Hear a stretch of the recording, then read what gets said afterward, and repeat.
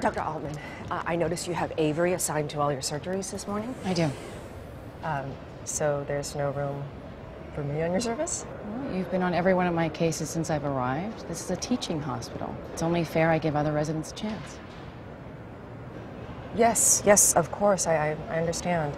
Um, do you think you'll have room on your service tomorrow or the next day? I, uh, I, I, I don't know. I just.